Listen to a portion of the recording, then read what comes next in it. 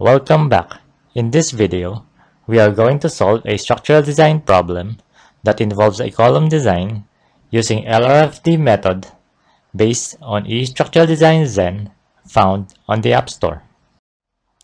Design a reinforced concrete rectangular column using load and resistance factor design that carries an actual dead load of 500 kN and actual live load of 150 kN. Design criteria as follows. Strength of concrete 21 megapascal, vertical bars 16 mm bar grade 276, lateral tie bars 10 mm bar grade 276, steel ratio 2%. The column carries an axial dead load of 500 kN and axial live load of 150 kN for a factored axial load of 840 kN. Enumerate input parameters required.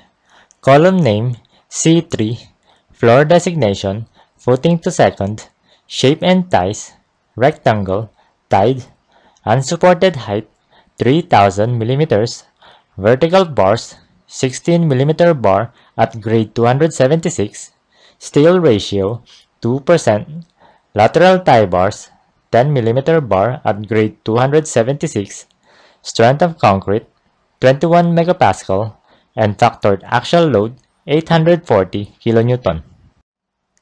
Given factored axial load equals 840 kN and steel ratio equals 2%, the gross area of section is 70,194.44 square millimeters for a column width of 200 millimeters and column length of 375 millimeters.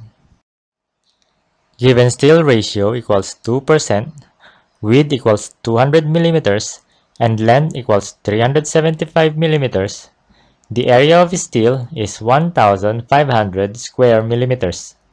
The number of vertical bars for 16 millimeter bar is 8. Follow the given computations for lateral ties. Design recommendation as follows. FC prime equals 21 megapascal, Fy equals 276 megapascal, column size is 200 millimeters by 375 millimeters by 3000 millimeters. Vertical bars of grade 276, 8 pieces 16 millimeter bar, lateral ties of grade 276, 10 millimeter bar, 2 sets spacing, 5 at 100 millimeters, 4 at 150 millimeters, rest at 200 millimeters. Thank you for watching. If you learned something from this video, please like, share, and subscribe to this channel.